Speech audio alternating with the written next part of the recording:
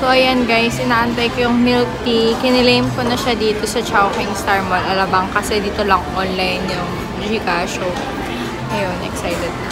Siyempre, libre to, diba?